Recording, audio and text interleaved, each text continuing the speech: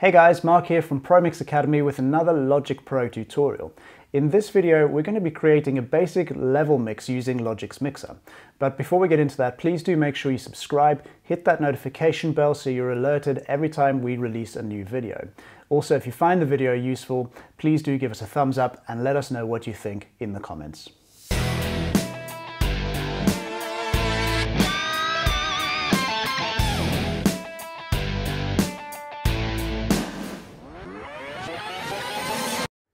So you might be partway through recording, uh, looking to balance your levels a little bit before we continue recording. Uh, or as in my case, you might have a fully recorded tracks, uh, track um, ready for mixing. Either way, the first thing we need to do is bring up the mixer. There's a couple of ways you can do this. You can use the mixing icon at the top left here, which will bring up the mixer in the bottom half of your screen. Personally, it's not my favorite view. It's quite limited in its uh, in its arrangement. Um, I like to use the second option, which is to use the shortcut Command 2. This will bring it up in a completely different window. And I also like to um, stick this on a different desktop just to give us more readily available access to it. Another thing that I like to do is to color code my tracks. Um, this is pretty standard practice and really advisable. Um, it just helps you to visualize where we are in the mixer that much more easily um, than when everything is just one single color. So here we have a group of percussions. I'm going to use um, option C to bring up my color picker and I'm going to make my percussions red. I'm going to group my guitars and make those Let's make them a nice blue. Then I've got some keys and some strings, which I will make purple. And finally, we've got my vocals, which I will make a pink. Okay, so I think we're ready to start um, adjusting some levels. Um, what I've got on the other page is uh, I've enabled cycle mode which will just loop that section of the track um, until we tell it otherwise. Um, I've got this sitting over a verse and a chorus, just to give us an idea of the dynamic range uh, that we're dealing with. Um, I'm going to let it play once through without touching anything. And once I get a feel for where things should go, we'll start adjusting some levels on the fader in the mixer. Let's go. Overthinking everything you say and do.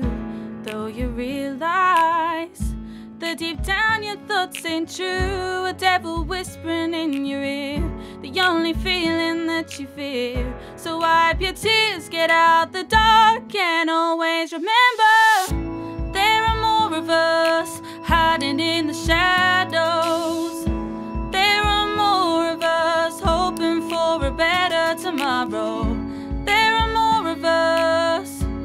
Looking high when we are low. There are more of us than overthinking everything you say and do. Though you realize that deep down your thoughts ain't true. A devil whispering in your ear,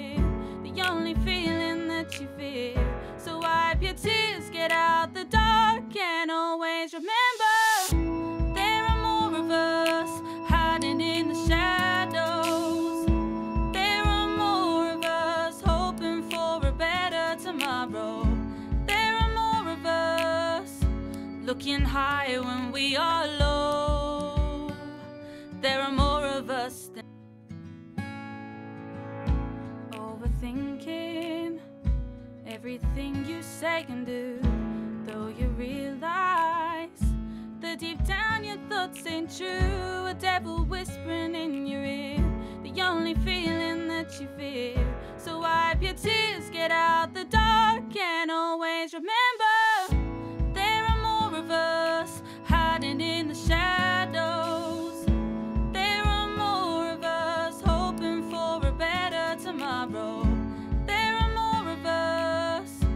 looking high when we are low. There are more of us. Okay, so I think um, already this is sounding much better. These these tracks have obviously been really well recorded. Um, just looking at the levels on each of them, the only thing I'm noticing that's jumping out a little bit is my acoustic guitars are noticeably quieter than the rest of the tracks. I've had to pull down the vocals quite a bit because they were coming in quite hot. Um, I had to pull down the reverse cymbals quite a lot because they were also quite hot. Uh, we haven't reached any tambourine yet, so we'll see what happens uh, later on in the mix. The snaps, the finger clicks were also pretty loud, and likewise we haven't had any snares yet, so we'll see where they uh, fit into the balancing a little bit later on, uh, perhaps in another video. Um, so it's really just this acoustic guitar I, I kind of want more of. It was sort of hovering at around maybe minus 30 at the most, minus 24 dB. There's a really easy way to, to bring that up a little bit. Um, I'd, ideally, I'd like that sitting at around, say, between minus 15 and minus 12. I'm going to go over to my other window. If we click on region, I'm going to go to this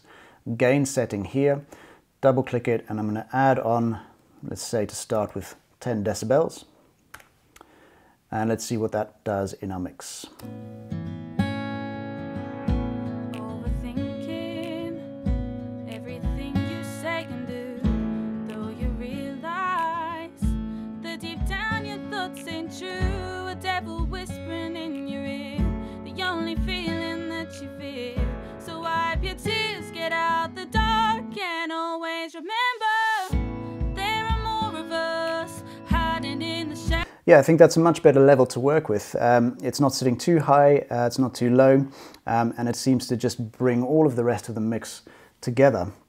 Um, so you can see uh, uh, the, the power of a simple balance in your, in your mixer. Um, we haven't done much at all. We've just pulled a few things up and taken a few things down, and already we've got an, an all right sounding mix. There's not much I'd change. I think obviously as the track develops, um, dynamics will increase and decrease, and you know we'll, we'll deal with that when it comes, perhaps for another video. Um, but as a starting point, I think this is sounding good. Cool, so that's our basic level mix using the uh, faders in the mixer window. If you found this video helpful, please do give us a thumbs up, hit that bell, subscribe, drop us a comment. Uh, you'll find some freebies in the description. If you want to take this more seriously, check out the ProMix Academy, details to follow.